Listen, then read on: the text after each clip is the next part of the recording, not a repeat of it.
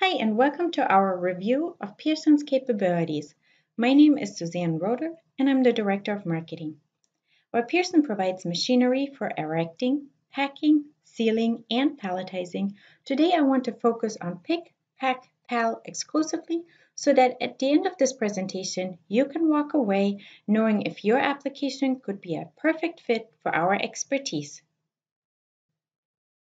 So let's start with a quick stop at the grocery store.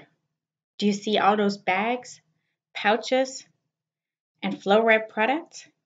Over the years, the presence of flexible products has tremendously grown, hasn't it? And along with them, the need for flexible solutions. Do you recognize yourself in this image? Your job is not getting any easier, is it?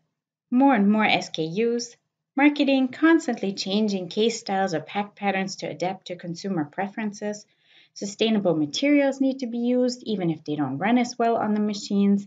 And to cut supply chain costs, retailers are pushing the responsibility for shelf presence to you. And all that with limited manufacturing space, growing skill gaps in your workforce, and high operator turnover. Am I stressing you out yet? As your stress levels grow, so do ours. Because let's face it, your requests to us OEMs are not getting any simpler either. You need many different products, pack or pallet configurations all in one line.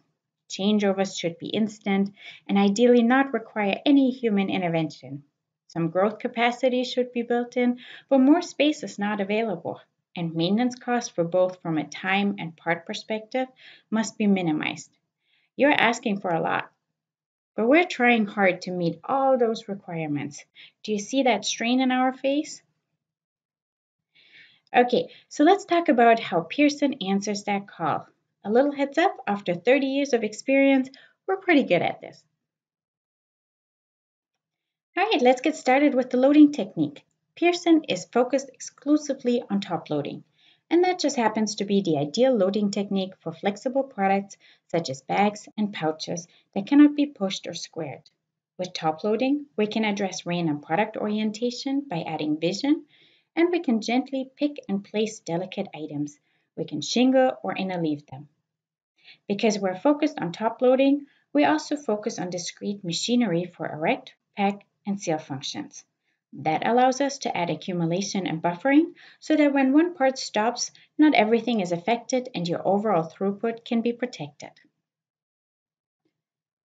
What else do we do to provide you with the most flexible solutions for your application? Well, we do everything robotically. A few years ago, we retired our gantry packers because robots offer so many more advantages. The motion profile can be easily adjusted, so when marketing comes out with a new variation of a variation, the robot can handle it. Robots are able to change over with minimal to no interference, just like you can see in the video here. And because of the lower part count and mechanical wear, Maintenance requirements are much lower than with a mechanical piece of equipment, while in turn the reliability is much better. All of our end-of-arm tools are custom designed so that we can address any kind of specific application challenges. We also regularly employ vision and line tracking in our packing systems. That helps us to keep the footprint of the solution small. As you can see in some of the video examples, we can pick and pack multiple products that are randomly presented to us. Without vision and line tracking, we would have had to design an area for correlation and pattern forming, which takes up valuable space. Vision and line tracking also allows continuous motion of the operation. You don't have to worry about intermittent stops anymore to pick the load, which can lead to faster wear of machine components and certainly slows down the speed. Here's an example of a 3D vision system, which is particularly useful if small variations in product height need to be identified. Since it uses a laser to scan a product, good lighting and high contrast backgrounds aren't as important anymore. Imagine you wanted to pack hot dogs and needed to identify leakers. The laser would be able to tell if the package is still tightly sealed or if air has entered and the peaks and valleys have smoothed out. The next technology is one that I'm really excited about. It pushes the level of flexibility to new heights. With independent cart technology, you get everything in a really small footprint. Because the carts move independently, as the name suggests, accumulation and buffering can be accomplished without the space that is traditionally needed. With the iTRAK or MagneMotion, we can load horizontally and vertically pretty much simultaneously. Changeover can be automatic, or if retooling is needed, it is really simple and the system is quickly ready to be redeployed. Also, just like we discussed with the robots, the tracks significantly reduce your part count, which means less wear and maintenance for you. The last technology I want to touch on that we use to handle flexible products is the catcher's mitt.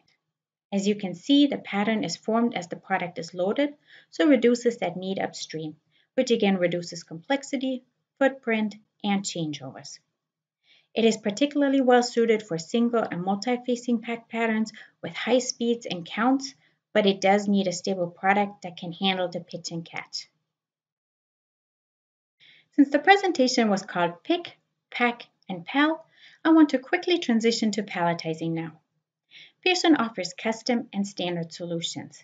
Custom solutions are your best bet for central palletizing systems, high payload or speed, or when you need to integrate equipment such as stretch wrapping or if you have products other than regular cases such as drums, bags, or pails. Our standard palletizers, on the other hand, are a great solution for single production lines with payload limits of 40 pounds and slower speeds. They are a low-cost solution with the compact palletizer starting under $100,000. They're super small, configurable, come on a common base so you can lift it into a truck, move it around, and start it up really easily. This product family is also available under the Machine as a Service program, which means if you don't have CapEx available, you can still automate.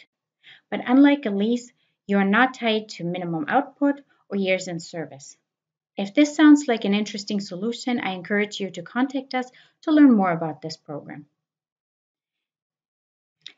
And lastly, since we're talking about flexible solutions, I want to be sure to mention that all of our equipment comes with a remote access router and many systems also take advantage of a camera setup. So we can effectively support you from anywhere without any delays in travel time and make sure your equipment is producing as it should be.